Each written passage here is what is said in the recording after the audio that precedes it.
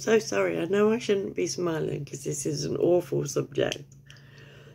Um, but you know, take two and all that. We find ourselves where we find ourselves. Disclaimer: my thoughts and opinions, just me. I'm not speaking on behalf of anybody else. I'm not giving anybody else like it's literally my thoughts and opinions, and also I swear. Now I wasn't gonna wade in like with the whole Phillip Schofield thing. I've just been sitting here and just watching from the sidelines. But he's come out now. Well, I know he came out a while ago, right? But he's come out now. He's broken his silence. That's one of the new, you know, like with the McCanns and their fresh anguish. It's like everybody now, like the media is just breaking their silence. So so is broken their silence. In fact, the McCanns were in that as well. The McCanns have broken their silence, and it's like, no, the McCanns spokespeople have issued a statement. That's not them breaking their silence. They're keeping fucking storm. Much like Philip Schofield, because they're all on the fucking same team, let's face it. I'm saying nothing, but it is my thoughts and opinions, and I'm not quoting anybody. It's just literally me. So this dude, right, was a raging bender. And he was married, he had his beard, right? Because there is no way that you can be with a woman for that, for what, 27 years or something? They were together. She was his beard. That's what she was. She wasn't his wife. She was, she was his wife as well, but she was his beard, like Rock Hudson has a, had a beard, didn't he? You know, like, it's like, you know, like, yeah, I'll pretend that you're straight. You're fucking paying my bills, me. I don't get two shits. I'll fucking have your kids for it, but I don't get two shits, mate. I get to have my nails done. Check my hair. Fairly good as hell.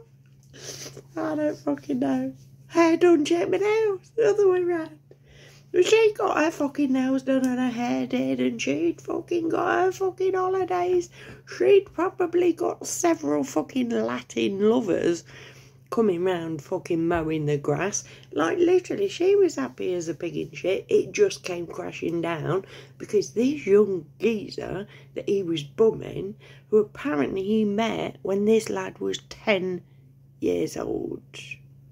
I watched a video yesterday 10 years old.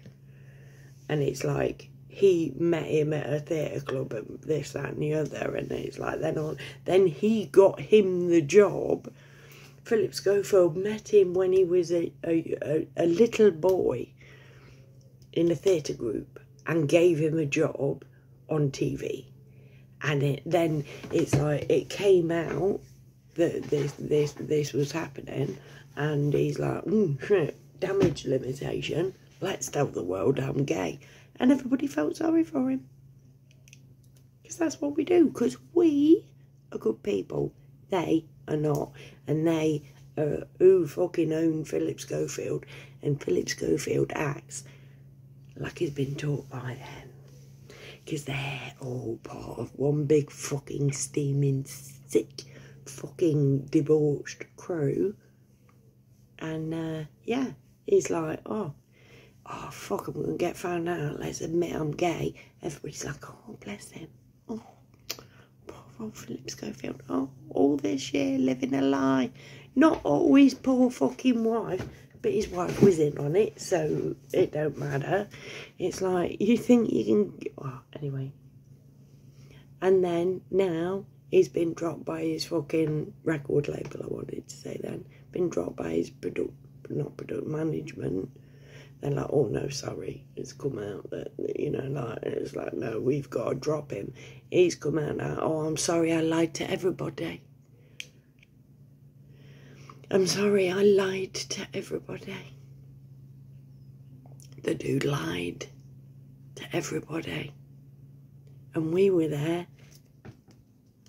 Oh, and sweet when he admitted he was gay. He was lying.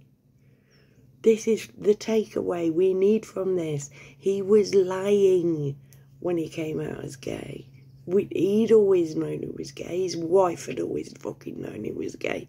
I will put fucking money on it.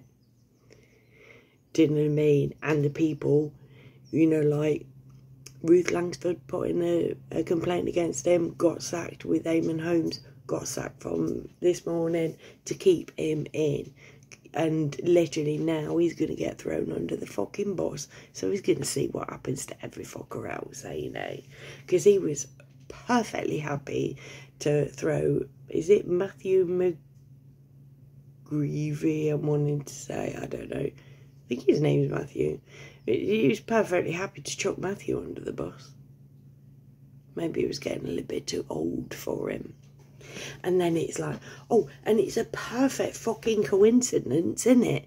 That his fucking brother has just been fucking knocked up, locked up for fucking. Well, apparently, again, it's like, again, it's like his brother said, Oh, yes, well, me and this young lad, we just sat on separate chairs at the opposite end of the room and masturbated at the same time over porn. Fuck off! And he told Philip Schofield that. He told him that. And Philip Schofield was like, Well, just don't do it again then. That's his advice. Just don't do it again then. And then it all comes out in the court of law, and then Philip Schofield's like, I no longer have a brother. It's like, no, that the time that he's told you, why is he telling you that? You know, like, how close is your relationship that you can talk about fucking about with teenage boys? and the other ones are not reported. Like, fuck off. This is all a massive bag of bollocks. The whole of the entertainment, not the whole, but massive swathes of the entertainment industry is fucking, it's run and facilitated by fucking nonsense pedos and boy buggerers. And uh, yeah, going back to the old uh, matriarchy, mate. I've got you fucking in all sides. So, fuck you, Philip Schofield. Fuck you, everybody who is fucking stood behind him and beside him because he won't be the only person taken down by the boss. And I bet right now, shitloads of people are sweating their fucking nuts off. And that makes me happy please continue to com the conversation in the comments below add me on my socials and uh, let's get talking about this because these bastards who have raised people like Philip Schofield in their image need taking down and our kids need protecting. Who's with me? I love you all. Bye.